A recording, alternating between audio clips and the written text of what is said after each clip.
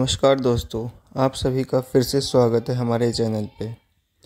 हमने अपनी पिछली वीडियो में आपको बताया था कि किस प्रकार आप S A S N A S sample paper को एक्सेस कर सकते हैं। अगर आपने वो वीडियो नहीं देखी हो तो आप हमारे दिए गए लिंक पर क्लिक करके हमारे उन वीडियोस को देख सकते हैं और सभी सैंपल पेपर्स जो एमसीडी के द्वारा बच्चों के लिए उपलब्ध कराए गए हैं, कक्षा तीन और पाँच के लिए वो आसानी से देख सकते हैं।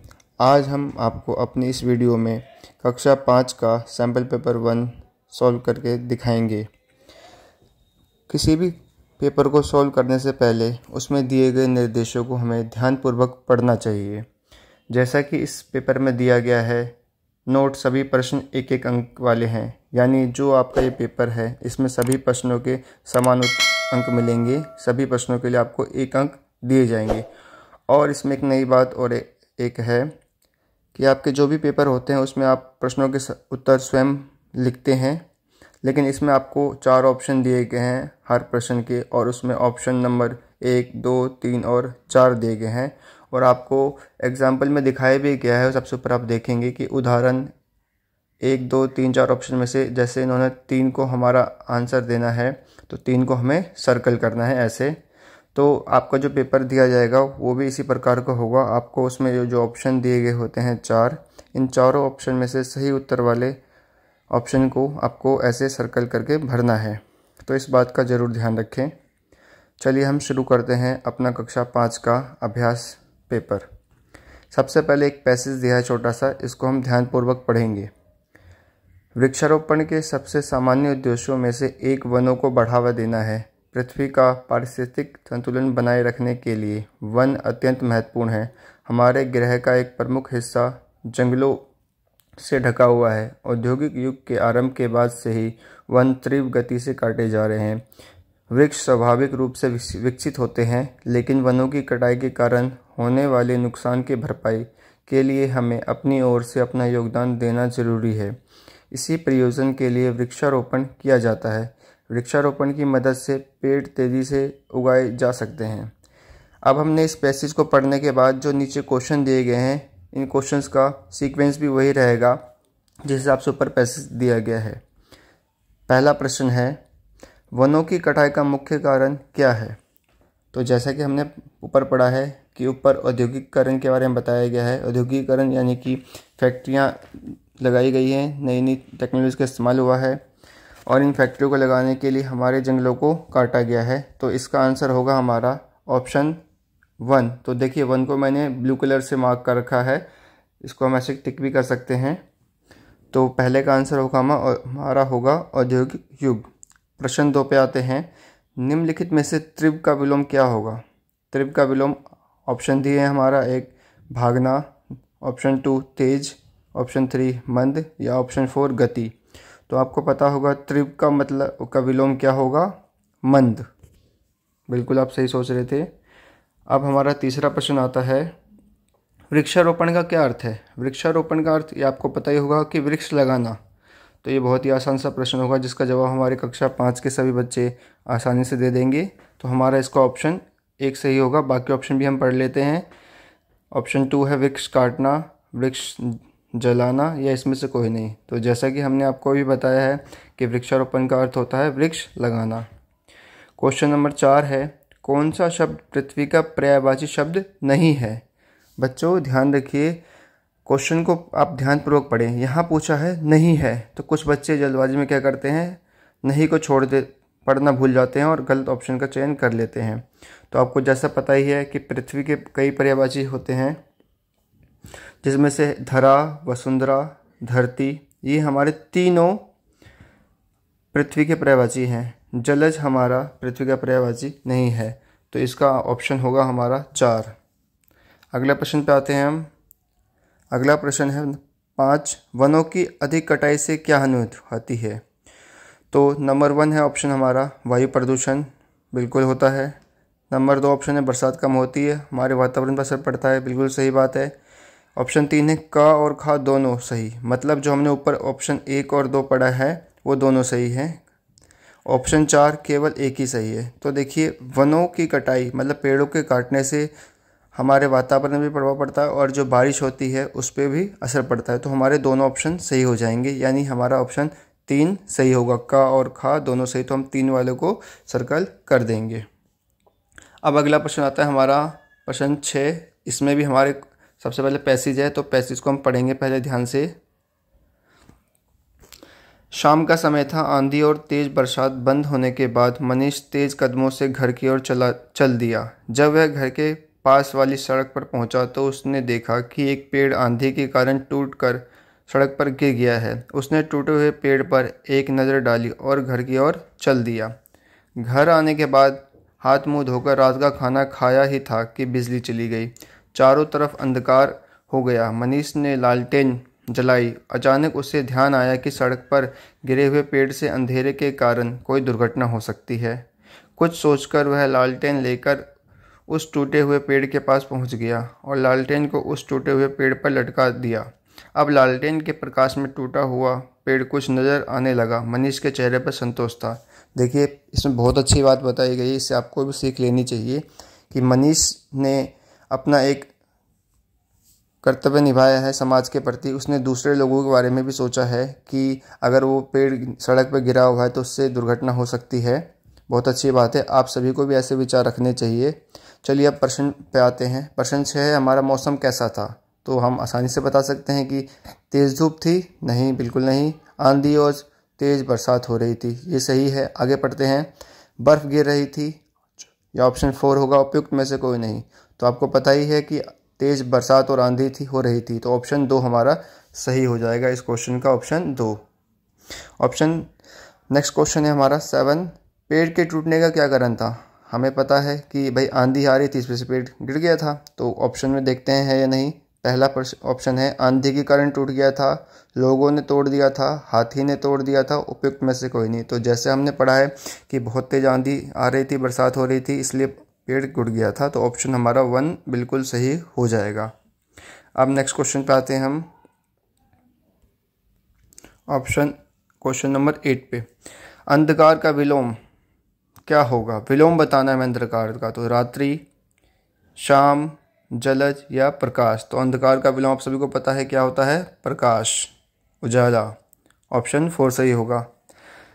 क्वेश्चन नंबर नाइन पे आते हैं। मनीष ने टूटे हुए पेड़ पर लालटेन क्यों लटका दी? ये भी हमने अभी ऊपर समझा है कि उसने लालटेन क्यों लटकाई थी ताकि कोई दुर्घटना ना हो जाए। तो देखते हैं ऑप्शन में है या नहीं। हाँ पहला ऑप्शन ही हमें दिया हुआ है, ताकि कोई दुर्घटना ना हो जाए। नंबर दो ऑप्शन दिवाली थी। नंबर तीन, पढ़ने के लिए। नंबर फोर, खेलने के लिए। तो ऑप्शन एक हमारा बिल्कुल सही है, ताकि कोई दुर्घटना ना हो जाए। बच्चों, हमें ये नहीं कि पहला ऑप्शन हमारा सही है तो हम आगे ऑप्शन बिल्कुल ना पढ़े। ऐसा हो सकता है कि उसमें कोई और भी ऑप्शन जुड़ा हो, साथ में दो बातें दी गई हो, जैसे हमने भी पीछे इस क्वेश्चन में पढ़ा था, का, खा, दोनों। तो सभी ऑप्शन को ज़रूर पढ़ें। ये नहीं कि पहला ऑप्शन हमारा सही है तो उस पर टिक लगा के आगे बढ़ जाएँ। बिल्कुल नहीं, हमें पूरा प्रश्न पढ़ना चाहिए। तो हमारा इसका आंसर होगा, ताकि कोई दुर्घटना ना हो जाए ऑप्शन एक बिल्कुल सही होगा। अगले प्रश्न पे आते हैं, दस पे। निम्न में से कौन सा शब्द पेड़ का पर्यायवाची नहीं है? पर्यायवाची नहीं है, यहाँ पे भी हमें ध्यान रखना है कि हमें नहीं पे बिल्कुल ध्यान देना है। नहीं पढ़ना ना भूलें। तो ऑप्शन एक है पौधा। बिल्कुल है ये तो पेड़ का पर्यावाची झाड़ी ये भी है, टहनी ये भी है। चौथा ऑप्शन है टायर तो भाई टायर तो पेड़ से कहीं कोई लेना देना नहीं टायर का। तो हमारा ऑप्शन चार सही होगा इसका कि पेड़ का पर्यावाची ऑप्शन फोर होगा कि नहीं है टायर अगले प्रश्न पे आते हैं हमारा। अब अगला हमारा प्रश्न है ताजमहल के बारे में। चलिए देखते हैं। चित्र को ध्यानपूर्वक देखना है, फिर हमें उत्तर देना है। तो हमारा ये चित्र है ताजमहल का, सबको पता ही होगा। तो इस इमारत का नाम आपको पता ही है। ऑप्शन दिया है वैसे, हवा महल, ताजमहल, जल महल, श्वेत महल। तो हमारा आंसर क्या होगा? ताजमहल। अगले प्रश्न पे आते हैं बारह पे। इसके आसपास कितनी मीनारें हैं? तो आपको दिख रहा होगा इसके आसपास हमारी कुल कितनी मीनारें हैं? गिन लेते हैं। एक, दो, तीन, चार। तो टोटल हमारी चार मीनारें हैं तो ऑप्शन हमारा चार सही होगा। अगले प्रश्न पर आते हैं हम।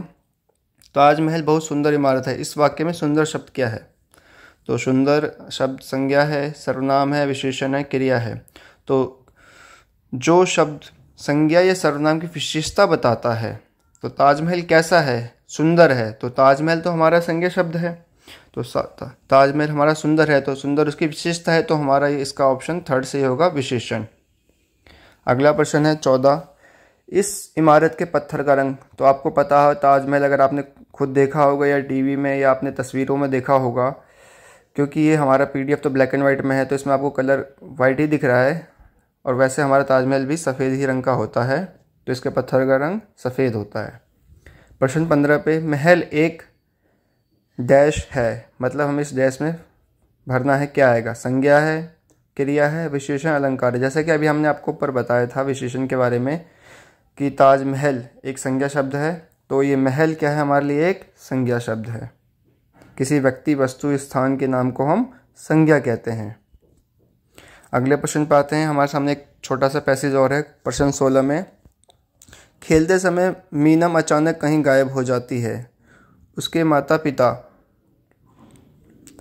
पुलिस की मदद लेते हैं। पुलिस कुत्ते के मुँह में मीनक की फ्रॉक देते हैं और उसके पीछे पीछे चले चलते हैं। पुलिस ने कुत्ते को मीनक का फ्रॉक देकर क्यों भेजा? तो ये आपने टीवी में कई बार देखा होगा या कई फ़िल्मों में, जो आप देखते होंगे, या कई बच्चों के शो आते कार्टून शो, उसमें कुत्ते की मदद ली जाती खोजने के लिए, क्योंकि कुत्ते की सूंघने की शक्ति हम इंसानों के मुकाबले बहुत ही ज़्यादा होती है। तो पहला ऑप्शन है, कुत्ता मीनम को जानता था। बिल्कुल नहीं, भाई, पुलिस का कुत्ता था, कैसे जानता उसे? ऑप्शन टू है, कुत्ते को मीनक की फ्रॉक पसंद है, ये भी नहीं होगा। ऑप्शन तीन है, कुत्ता मीनम को उसके फ्रॉक के उपस्थित गंध के कारण ढूंढ पाएगा। और ऑप्शन चार है, उस कुत्ता उस जगह को जानता था जहाँ मीनम खोई थी, नहीं। क्योंकि फ्रॉक दी गई थी, वो गंद के लिए दी गई थी, ताकि उसको स्मेल करते हुए वो आगे बढ़ सके। तो ऑप्शन तीन सही होगा हमारा, कि कुत्ता मीनम को उसके फ्रॉक में उपस्थित गंध के कारण ढूंढ पाएगा। अगला क्वेश्चन आता है, क्वेश्चन सत्रह हमारा।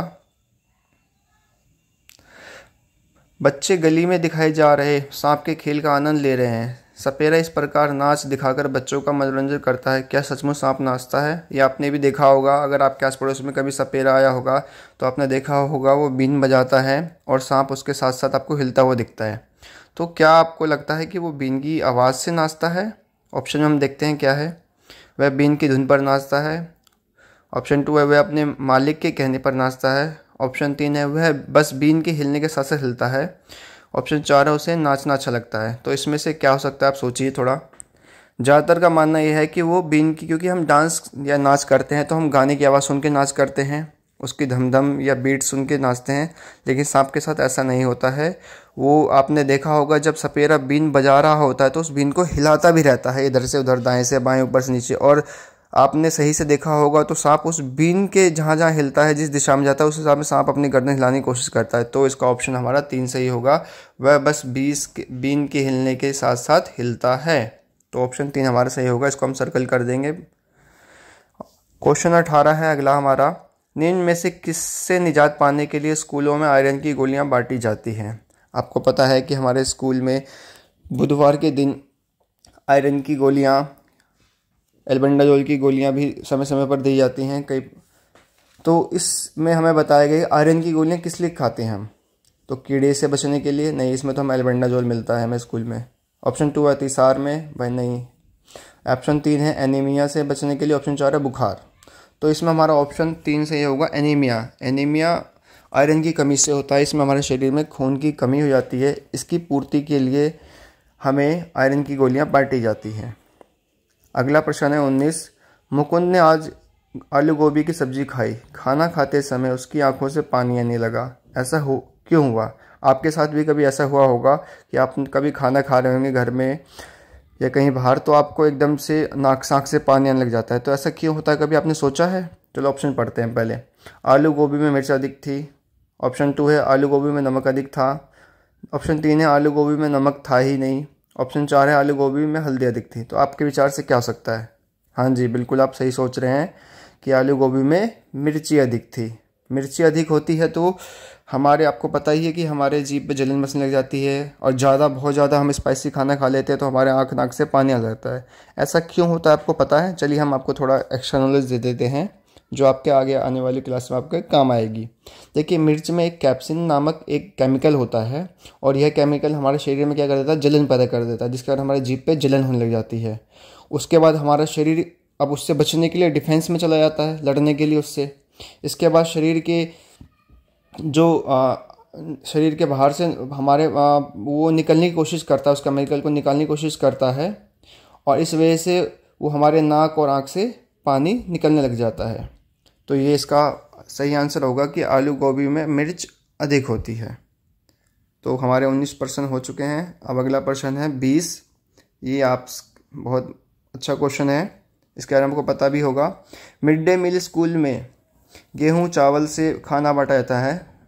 स्कूल में भोजन क्यों बांटा जाता है? आपको पता है कि आपके स्कूल में मिड डे मील दिया जाता है। लंच के समय में आपको अलग अलग दिन अलग अलग खाना दिया जाता है। कभी छोले चावल, कभी दाल चावल, कभी हलवा चने कभी आलू पूड़ी, कभी राजमा चावल अलग अलग तरह अलग अलग दिन आपको अलग अलग खाना दिया तो ये खाना देने का मुख्य उद्देश्य क्या है? क्यों दिया जाता है आपको? तो पहला ऑप्शन है हमारा सरकारी नियम के कारण। ऑप्शन दो है अधिक पैसा होने के कारण। ऑप्शन तीन है बच्चों का पेट भरने के लिए। ऑप्शन चार है बच्चों में कुपोषण को दूर करने के लिए। तो देखिए, इसका आंसर हमारा होगा बच्चों में कुपोषण को दूर करने के लिए। क्योंकि देखिए, हम घर पे बच्चे, पूरी डाइट हम नहीं लेते हैं। और हमारे स्कूल का डाइट मिड डे मील का डाइट ऐसा बनाया गया है कि इसमें हर तरह के विटामिन, प्रोटीन का ध्यान रखा गया है। हमारे शरीर कमज़ोर ना हो, इसकी पूर्ति के लिए, कुपोषण से बचाने के लिए ये स्कीम चलाई जा रही है। तो इसका आंसर हमारा चार से होगा कि बच्चों में कुपोषण को दूर करने के लिए। अगला प्रश्न आ जाते हैं बीसवा। हाँ इक्कीसवा सॉरी कुलविंदर को बहुत तेज़ सर्दी हो गई। उसने ठंड के इलाज के लिए रखा हुआ सिरप पी लिया। उससे इसका स्वाद अजीब लगा, उल्टी हो गई ऐसा क्यों हुआ? देखिए, इसमें ध्यान से प्रश्न पढ़ेंगे कि इसको ठंड लग गई और उसने घर में रखा हुआ सिरप पी लिया। अब सिरप उसे पता होगा भाई, सर्दी जुकाम का, इसलिए पी लिया। पहली बात तो हमें कोई भी दवाई बिना डॉक्टर की सलाह के नहीं लेनी चाहिए। कोई भी दवाई, घर में रखी हुई दवाई हमें डॉक्टर की सलाह के बिल्कुल नहीं लेनी चाहिए। नुकसान फ़ायदे की जगह हमें उसका नुकसान होगा। जैसे कुलविंदर को हुआ कि उसने रखा हुआ, उसे पता था, पता होगा कि भाई हमारा ये सर्दी जुकाम का तो पी लेता हूँ, लेकिन हमें पीते समय या कोई गोली हम खाते हैं तो उसको सबसे पहले उसमें हमें उसकी डेट चेक करनी चाहिए। आपको पढ़ा भी होगा आपने कक्षा चार में, गणित में, कि हर उत्पाद के ऊपर जो भी पैकिंग वाली चीज़ें होती हैं, सबके ऊपर उसकी एमएफडी डेट और एक्सपायरी डेट होती है, कि कब वो चीज़ बनी और वो कब चीज़ एक्सपायर हो जाएगी। तो उसने एक्सपायरी डेट नहीं देखी होगी और कोई भी चीज़ हो खाने पीने की या दवाई, उसके अगर एक्सपायरी डेट ख़त्म हो जाती है, यानी उसके बाद उसको हम प्रयोग करते हैं तो हमारे लिए जानलेवा घातक सिद्ध हो सकता है। उसका साइड इफ़ेक्ट हो सकता है, जैसा कि कुलविंदर के साथ हुआ। तो इसका ऑप्शन हम पढ़ते हैं। पहला ऑप्शन है, सिरप के उपयोग की तारीख समाप्त हो गई। सिरप कड़वा है, सिरप से बदबू आती है, कुलविंदर का पेट खराब है। तो कुछ बच्चे सोचेंगे सिरप कड़वा है, इसलिए उसने को उल्टी आने लगे। तो देखिए, कड़वा तो अब तो कई फ्लेवर वाले सिरप भी आते हैं, जो बच्चों को अच्छा लगते हैं तो इसे ऑप्शन नहीं हो सकता है। बदबू आना तो भाई अगर फ्लेवर अच्छा होगा तो बदबू नहीं आएगी। या कुलविंदर का पेट खराब था, ये ऑप्शन भी नहीं होगा तो हमारा ऑप्शन एक सही होगा। सिरप के उपयोग की तारीख समाप्त हो गई है। तो कोई भी चीज़ आप इस्तेमाल करते हैं तो इस्तेमाल करने से पहले उसकी एमएफडी डेट एक्सपायरी डेट अवश्य जाँच कर लें। कोई भी आप पैकिंग वाली चीज़ लेते हैं तो। आप प्रश्न बाईस पे आते हैं। दीपक ने मूंग धुली दाल अंकुरित की, लेकिन दो दिन बाद भी दाल अंकुरित नहीं हुई। ऐसा क्यों हुआ होगा? ऑप्शन पढ़ते हैं हम। दाल अधिक मात्रा में थी। दाल को अंकुरित होने में चार दिन लगेंगे। केवल साबुत दाल ही अंकुरित होती है। मूंग की दाल अंकुरित नहीं होती। तो इसका ऑप्शन हमारा तीन सही होगा कि केवल साबुत दाल ही अंकुरित होती है क्योंकि धुली हुई दाल थी, इसलिए अंकुरित नहीं होगी। प्रश्न तेईस पे आते हैं। यह चित्र देखिए। इसमें आपको पृथ्वी का चित्र दिखाया गया है। उसके ऊपर एक छोटा सा पौधा है। उसमें पानी डालते हुए दिखाया गया है। तो इस चित्र को देखकर आपको क्या समझ में आ रहा है बच्चों? चलिए ऑप्शन पढ़ते हैं। पौधों के लिए पानी की आवश्यकता होती है। पानी व्यर्थ बहाना चाहिए, बहना चाहिए। या ऑप्शन तीन, हमें पौधों को पानी नहीं देना चाहिए। ऑप्शन चार, हमें जल से स्नान करना चाहिए। तो ये आपको चित्र देख के पता लग रहा है कि पौधों के लिए पानी की आवश्यकता होती है। पेड़ पौधों को हमें समय समय पर पानी देना चाहिए, तभी वो आगे बढ़ सकते हैं। चलिए अगले प्रश्न पर आते हैं। चौबीसवा प्रश्न है हमारा। एक ट्रैकिंग कैंप में सभी को हॉट चॉकलेट मिल्क परोसा गया ऐसा क्यों किया गया होगा? तो ऑप्शन वन है सर्दी दूर करने के लिए, ऑप्शन टू है पेट भरने के लिए, ऑप्शन थ्री है नदी पार करने के लिए, ऑप्शन फोर है प्यास बुझाने के लिए। तो ट्रैकिंग के दौरान हो सकता है पहाड़ी इलाका हो, ठंड होती है, आपको पता ही है पहाड़ी इलाका में तो सर्दी दूर करने के लिए ऑप्शन एक सही होगा। अगला प्रश्न आते हैं, चित्र, इसमें भी चित्र को हमें देखना है। इसमें आपको देखना है कि ये फातिमा जहाँ खड़ी है, उसके पूर्व दिशा। देखिए, दिशाओं का ज्ञान आपका होना बहुत ज़रूरी है। आपको पता है, मुख्य रूप से चार दिशाएँ होती हैं। देखिए, मैं आपको ड्रॉ करके दिखाता हूँ। ये हमारा ईस्ट हो गया है।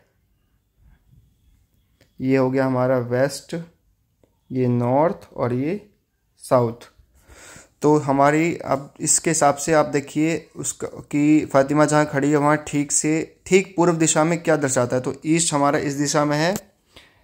फातिमा के जहाँ तो यहाँ पे क्या दिख रहा है हमें? एक पहाड़ है और एक सूरज। तो ऑप्शन देखते हैं हम। सूर्य और पर्वत, चाँद और पौधे। पौधे तो है नहीं यहाँ पे। खेत और पानी बिल्कुल नहीं है। फूल और पहाड़। तो पहाड़ तो लेकिन फूल नहीं।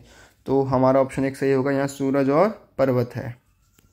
चलिए, अगले प्रश्न पे आते हैं। प्रश्न नंबर छब्बीस पे। छब्बीस प्रश्न है हमारा। सुनीता ने अंतरिक्ष में हाथ मुँह धोने के लिए तैरते हुए बुलबुले को पकड़ कर कपड़े को गीला किया। सुनीता ने ऐसा क्यों किया होगा?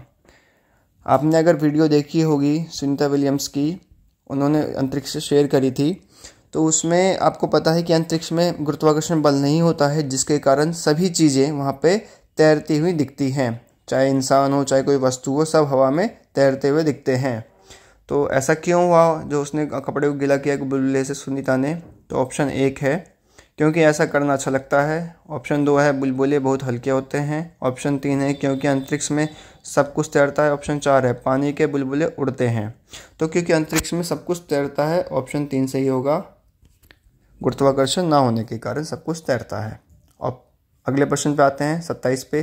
तेल के भंडार सीमित हैं, इसे अपने बच्चों के लिए बचाएँ। इस नारे में तेल के भंडार को सीमित क्यों कहा गया है?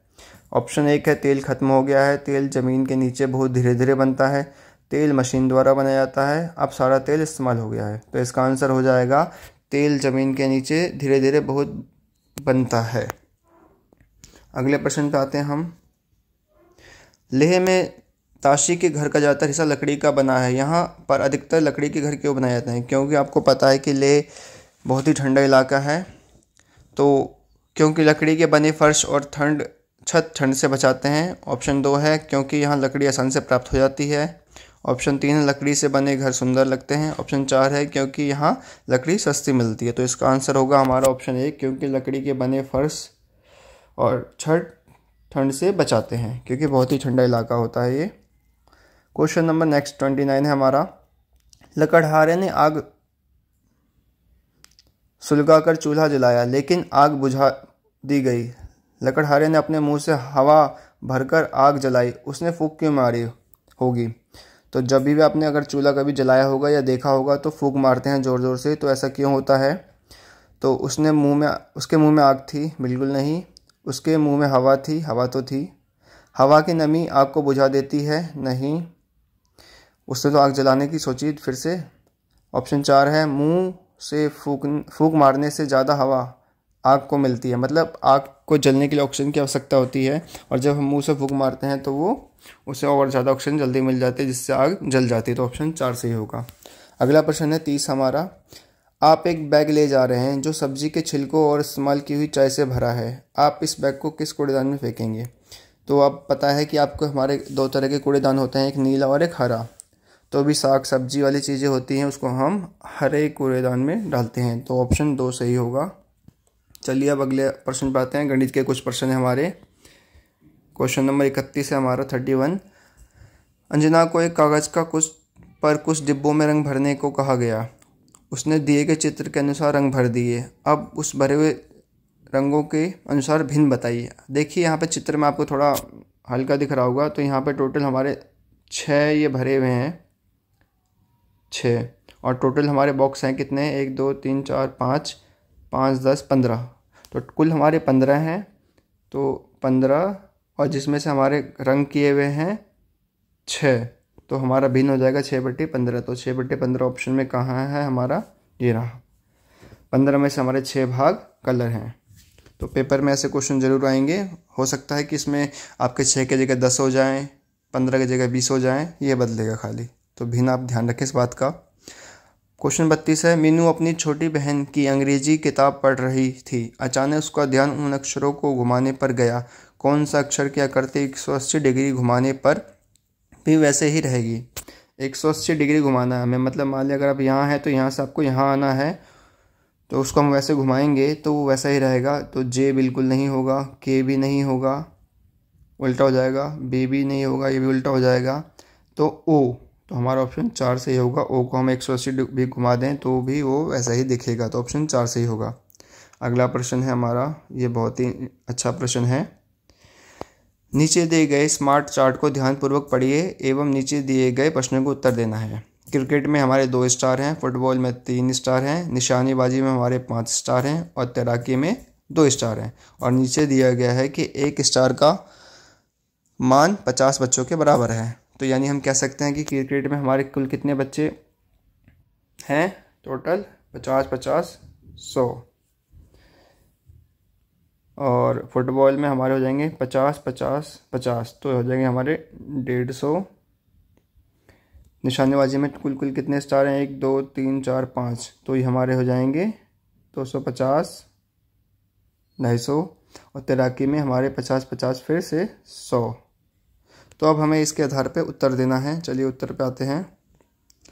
कौन से दो खेलों में बच्चे बराबर रुचि रखते हैं? सबसे बढ़िया इसका तरीका है, देखिए, जहाँ पे हमें बराबर स्टार दिख रहे हैं तो बराबर स्टार हमें एक दिख रहा है क्रिकेट में, दो स्टार और एक तैराकी में। तो ऑप्शन एक हमारा सही हो जाएगा क्रिकेट और तैराकी।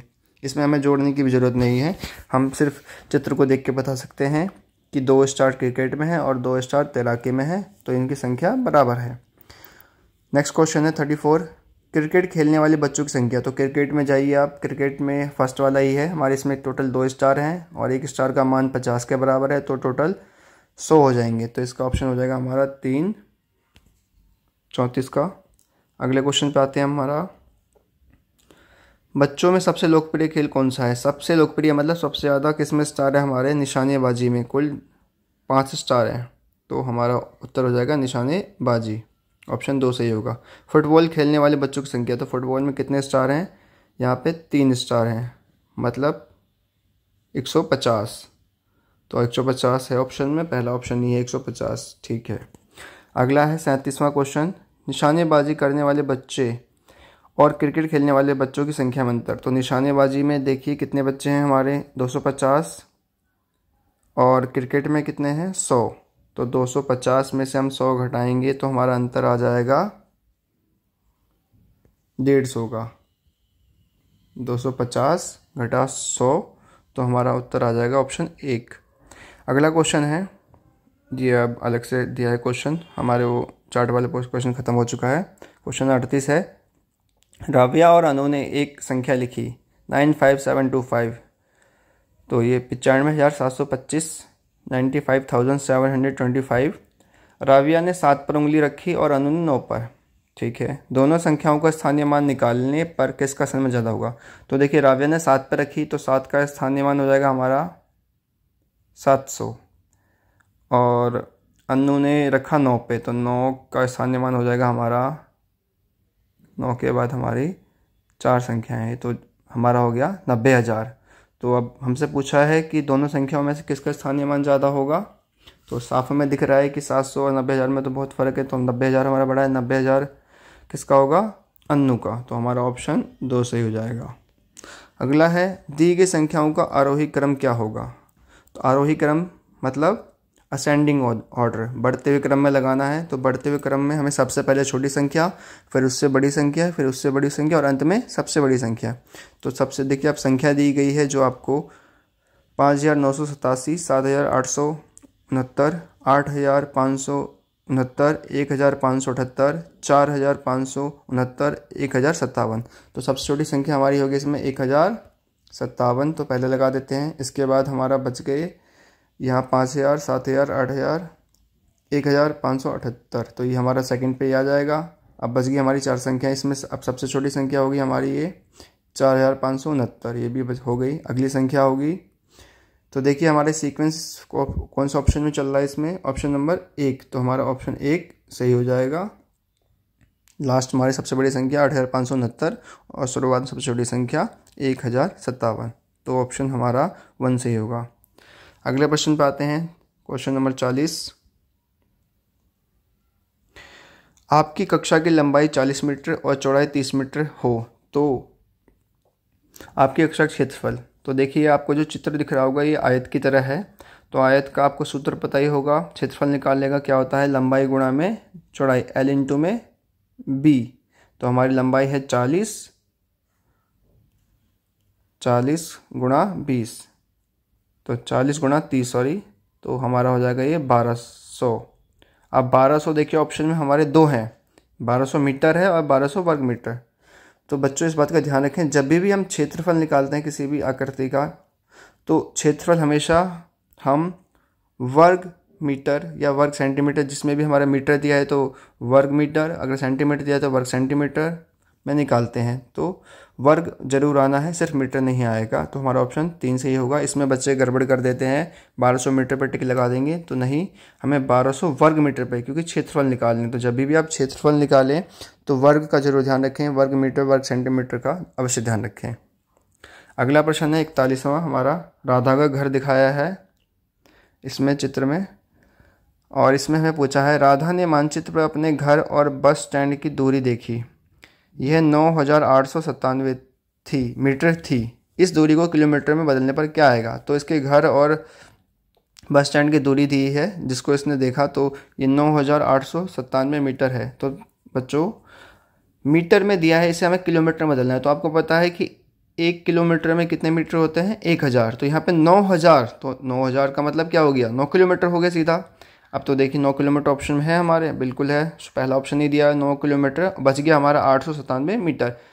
आठ सौ सतानवे मीटर, अगर ये एक इसमें अगर हम एक हज़ार मीटर करना हो पूरा करने के लिए तो इसमें इसमें और संख्या जोड़नी पड़ेगी। लेकिन फ़िलहाल हमें यही पूछा है, किलोमीटर में बदलना है तो इसका ऑप्शन एक ठीक होगा, नौ किलोमीटर, आठ सौ सतानवे मीटर तो ऑप्शन एक सही होगा। अगला प्रश्न देखते हैं। नीलेश अपने विद्यालय की लंबाई चौड़ाई माप रहा है। अगर विद्यालय की लंबाई पचास मीटर चौड़ाई पैंतीस मीटर, ये लंबाई हमारी पचास और चौड़ाई पैंतीस, थर्टी फाइव मीटर है। विद्यालय को चारों ओर से तार लगाने के लिए कितनी तार चाहिए? तो देखिए, यहाँ पे हमें इसका परिमाप पूछा गया है एक तरह से। तो इसका परिमाप हम दो तरीके से निकाल सकते हैं, चाहे सूत्र से निकाल लें, नहीं तो बहुत आसान है। पचास मीटर यहाँ है तो यहाँ भी हमारे पचास पड़ेगा। ये पैंतीस है तो ये भी सामने पैंतीस होगा। तो अब इन चारों को जोड़ लीजिए। पचास पचास, सौ, पैंतीस पैंतीस, सत्तर। तो हमारा आंसर सीधा हो जाएगा एक सौ सत्तर मीटर। और क्योंकि यहाँ सिर्फ़ हमारा सारे ऑप्शन मीटर में दिए हैं तो इसमें कन्फ्यूज़न वाली बात नहीं है। लेकिन कभी कभी वर्ग मीटर दे देगा तो हमें वर्ग मीटर सिर्फ़ हमें क्षेत्रफल में निशान लगाना है, जो परिमाप निकालते हैं हम, या जब भी हमें ये लंबाई बोले तार की तो हमें मीट वर्ग मीटर नहीं लगाना है। मीटर या सेंटीमीटर जो दिया सिर्फ़ वही रहेगा। तो इसका उत्तर हो जाएगा 170 मीटर ऑप्शन तीन से हो जाएगा। अब नेक्स्ट क्वेश्चन आते हैं, हमारा क्वेश्चन नंबर 43 है। नीचे दिए गए अंकों अंकों से चार अंकों की सबसे बड़ी और सब, और छोटी से छोटी संख्या बनानी है। तो हमें, देखिए सबसे पहले ऑप्शन में दिया सबसे बड़ी तो सबसे बड़ी क्या बन सकती है? तो बहुत आसान है। यहाँ हमारे नंबर संख्या दी है एक, पाँच, आठ, ज़ीरो। तो सबसे बड़ी संख्या पहले लिख लेते हैं, आठ, फिर उससे बड़ी बच गई पाँच, फिर बच गया एक और फिर शून्य। तो ये हमारा ऑप्शन में देखते कहीं है है जी फोर्थ ऑप्शन है। और सबसे छोटी क्या बनेगी? तो सबसे छोटी देखिए देखिए ज़ीरो को हम लेंगे, अगर पहले ले लेंगे तो हमारी तीन अंकों की संख्या हो जाएगी तो हमें एक से शुरुआत करनी पड़ेगी, एक, फिर शून्य, फिर पाँच, फिर आठ। तो ऑप्शन हमारा ये चार से ही हो जाएगा। अगला प्रश्न है हमारा फोर्टी फोर निम्नलिखित पैटर्न में अगली संख्या देख, क्या होगी? तो देखिए, पाँच आया, फिर पच्चीस आया, फिर एक सौ पच्चीस आया, फिर छः सौ पच्चीस आया तो अगली संख्या बतानी है। तो देखिए, इसमें हमारा पाँच को गुणा अगर हम पाँच से कर दें तो एक सौ पच्चीस हो जाएगा। एक सौ पच्चीस को फिर पाँच से करेंगे, एक सौ पच्चीस को पाँच से करेंगे, एक सौ पच्चीस हो जाएगा। एक सौ पच्चीस को हम फिर पाँच से करेंगे तो छः सौ पच्चीस, और छः सौ पच्चीस को हम फिर पाँच से गुणा करके देखेंगे तो हमारा ऑप्शन चार सही हो जाएगा तीन हज़ार एक सौ पच्चीस। ऑप्शन चार सही है। अब हमारा अंतिम प्रश्न है क्वेश्चन नंबर फोर्टी फाइव किस मेट्रो पिलर का नंबर एक हज़ार के ज़्यादा नज़दीक है? तो देखते हैं, नौ सौ पैंतीस, एक हज़ार से काफ़ी दूर है, नौ सौ तिरपन, ये पास में है थोड़ा। ऑप्शन तीन है, एक हज़ार दो, ये और भी पास है, क्योंकि ये दो कदम ही आगे है एक हज़ार से, और चौप ऑप्शन फोर है, एक हज़ार दस तो ये दस कदम आगे हुआ है तो देखिए एक हज़ार पे पहुँचने के लिए हमें सबसे पास होगा हमारा एक हज़ार दो तो ऑप्शन नंबर तीन हमारा सही होगा। तो देखिए, हमने आज ये 45 क्वेश्चन जो हमारा सैंपल पेपर वन था एस का स्टेट अचीवमेंट सर्वे का, वो सॉल्व कर लिया है। मुझे आशा है आप सभी को पूरा पेपर समझ में आया होगा। अगर फिर भी आपको कोई प्रश्न समझ में नहीं आ सकता है तो आप हमें कमेंट करके पूछ सकते हैं। उसका समाधान अवश्य किया जाएगा। और अन्य पेपर भी हम शीघ्र अपलोड करेंगे, जिसके लिए आपको हमारा चैनल सब्सक्राइब सब्सक्राइब करना पड़ेगा और शेयर करके रखिए, ताकि आगे आने वाली सैंपल पेपर आपको समय से मिल सके। धन्यवाद।